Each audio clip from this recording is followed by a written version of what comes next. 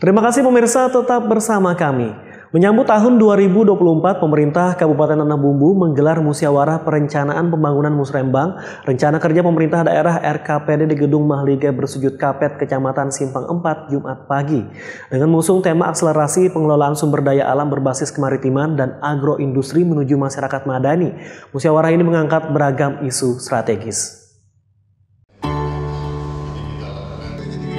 Pemerintah Kabupaten Tanah Bumbu menggelar musyawarah perencanaan pembangunan Musrembang Rencana Kerja Pemerintah Daerah RKPD tahun 2024 di Gedung Mahligai Bersujud Kapet, Kecamatan Simpang 4, Jumat pagi.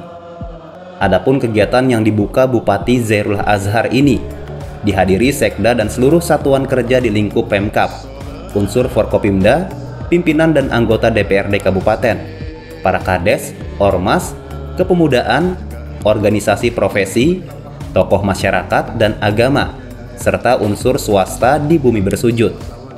Dengan mengusung tema akselerasi pengelolaan sumber daya alam berbasis kemaritiman dan agroindustri menuju masyarakat madani, musyawarah ini mengangkat beragam isu strategis.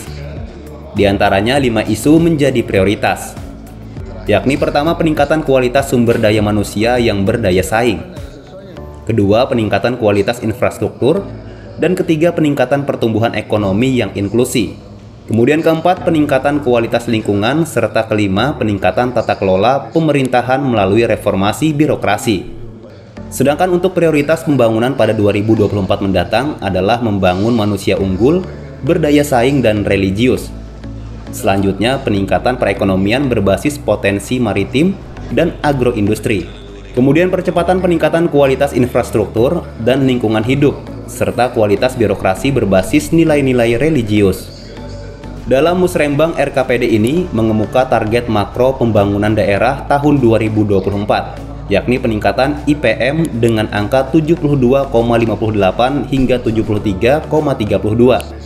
Angka pengangguran berkisar 5,68 sampai 5,54 persen. Pertumbuhan ekonomi mencapai 5,86 hingga 6,32 persen Angka kemiskinan 4,03 atau 4,01 persen.